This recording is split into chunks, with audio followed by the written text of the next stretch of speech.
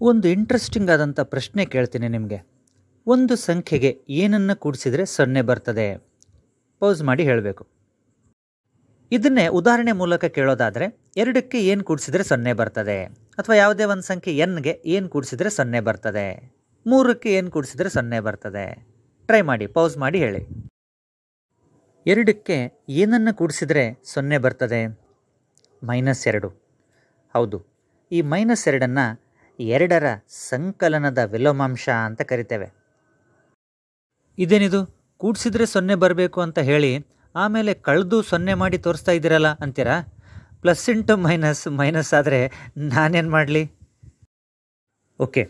General ಆಗಿ ಅನ್ವಯವಾಗುವಂತಹ ನಿಯಮ ಇದು. ಯಾವುದೇ ಒಂದು ಸಂಖ್ಯೆ ಎನ್ಗೆ ಅದರ ಋಣಾತ್ಮಕ ಅಂದರೆ ಮೈನಸ್ ಎನ್ನನ್ನು ಅದಕ್ಕೆ ಕೂಡಿಸಿದರೆ ನಮಗೆ ಸೊನ್ನೆ ಬರ್ತದೆ. ಇಲ್ಲಿ ಎನ್ಗೆ ಮೈನಸ್ ಎನ್ ಅನ್ನೋದು ಸಂಕಲನದ ವಿಲೋಮಾಂಶ.